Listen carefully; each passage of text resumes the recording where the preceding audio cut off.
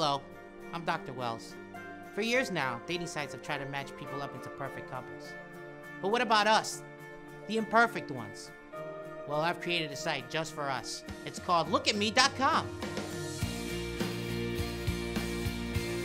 Here at lookatme.com, we match crazy drama filled individuals with their crazy drama filled counterparts.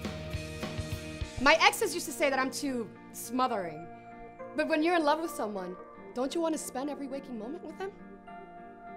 Thanks to lookatme.com, I found Jose, the stalker. He responds immediately to my text messages, and he shows up to places even when I don't invite him. That's love. I had a feeling all my ex boyfriends were cheating on me, even though they said they weren't. Yeah, I guess there were a few good ones, or whatever that means. But thanks to lookatme.com, I met Samuel. And we have so much in common. I too have a lot of trust issues when it comes to women. Mostly because my mother walked out us in a family when I was eight years old. So to find someone that shares the same suspicions as I do is quite, quite refreshing. Are you sexting someone right now? What? No.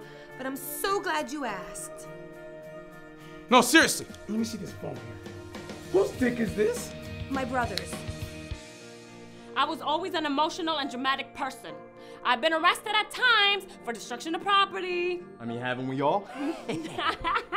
but thanks to lookatme.com, I was able to find someone as passionate and dramatic as I am without pressing charges but still pushing my buttons. I mean, just last week we yelled at each other for three straight hours. We burned precious heirlooms. We even keyed each other's cars. But we didn't press charges, nah.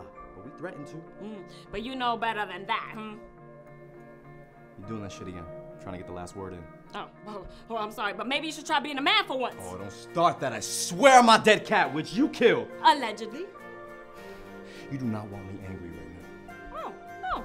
Well, you ain't gonna do shit. Don't test me, bitch! Oh, now you wanna be a man. Now you wanna be a man, then hit me. Come on, hit me. Let's go. Let's go. Now you too can be one of the over 2 million people over at lookatme.com. Now remember, the website and service are free, but the follow-up consultations in my office are not and are required by law to make sure you guys don't kill each other.